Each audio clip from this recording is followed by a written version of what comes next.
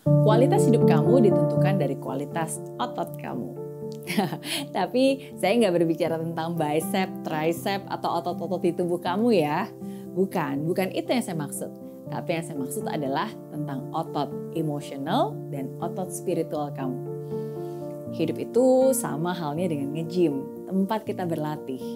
Jika kita menginginkan otot-otot fisik itu terbentuk, ya berarti kan kamu harus latihan Latihannya juga nggak cuma sekali, tapi terus menerus. Kamu harus terus mendorong diri kamu, mendisiplinkan diri untuk terus berlatih, berlatih, dan berlatih agar otot-otot itu bisa berkembang dan bisa tumbuh sesuai seperti yang kamu mau.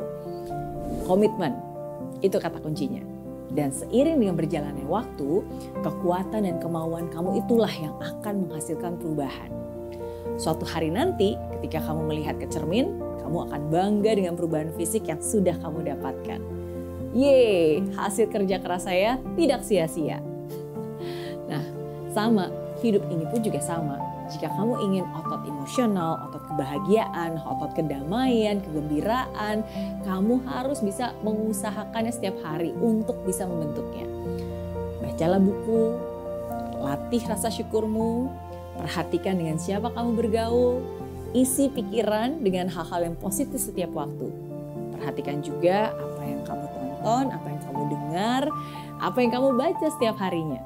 Dan lakukan semua hal yang juga dilakukan oleh orang-orang lain yang bahagia. Nah, semakin banyak kamu berlatih untuk mengembangkan diri, kamu akan berkembang menjadi lebih baik lagi.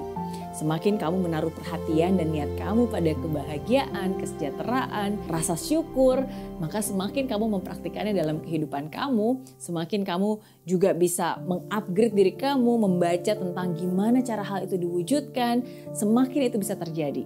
Dan semakin banyak kamu melakukan hal-hal yang membuat kamu bahagia, maka kamu akan semakin bahagia.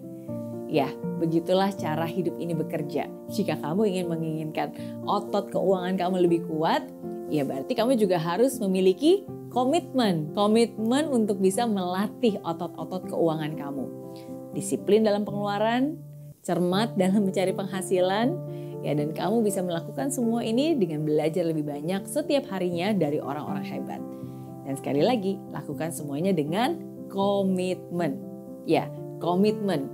Yang saya maksud dengan komitmen berarti no matter what ya, artinya apa pun yang terjadi, apa pun yang harus kamu hadapi, tetap teguh lakukan sesuai seperti apa yang sudah kamu komitmenkan.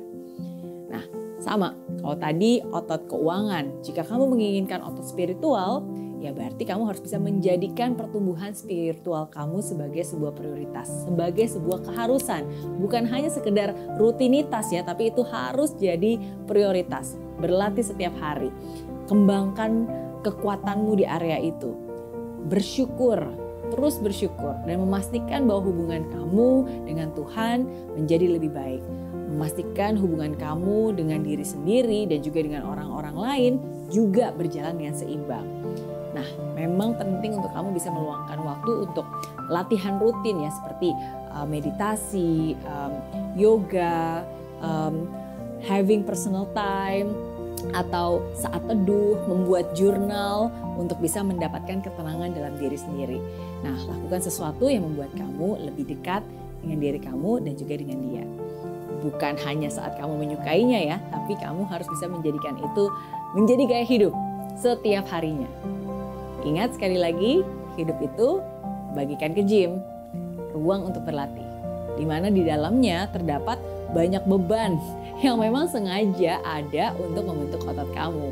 Nah, hidup juga seperti itu. Jadi jangan salahkan bebannya, karena hidup akan selalu memberikan kamu tantangan untuk membuat kamu lebih kuat. Dan walaupun tantangan itu akan selalu ada, itu juga bukan alasan untuk kamu merasa menderita. Ingat ya, walaupun tantangan itu ada, tapi itu bukan alasan untuk kamu merasa menderita.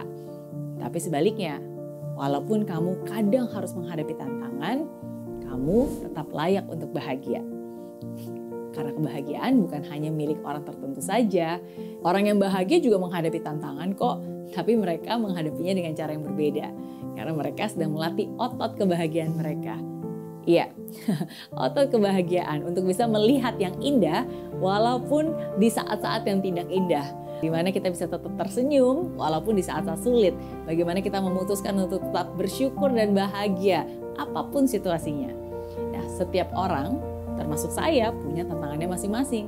Nggak peduli mau kamu kaya, miskin, tua, muda, pebisnis, atau karyawan, semua pasti punya tantangan sesuai dengan porsinya. Nah, yang membedakan adalah bagaimana cara kamu menghadapinya. Apakah kamu melihat tantangan itu sebuah sebagai sebuah kesialan atau kamu melihat tantangan itu sebagai sebuah kesempatan. Kesempatan untuk membuat kamu lebih maju, kesempatan untuk menaikkan kualitas diri kamu. Kesempatan untuk belajar hal-hal yang baru. Nah, jika cara pandang kamu benar, kalau kacamata kamu benar, maka tantangan-tantangan yang mampir dalam hidup kamu perlahan itulah yang akan membentuk otot-ototmu. Ingat sekali lagi, kualitas hidupmu ditentukan oleh kualitas ototmu. Jadi apa yang sudah kamu lakukan hari ini untuk membentuk otot-otot itu?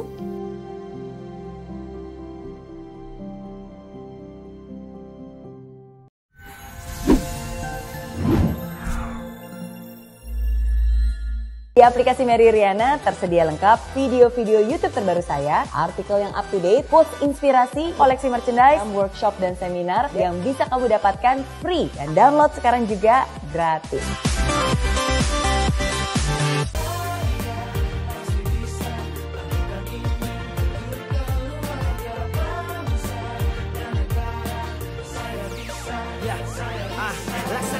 tanpa hujan Hidup tanpa Kering dan mati tanpa hijaunya tumbuhan ah.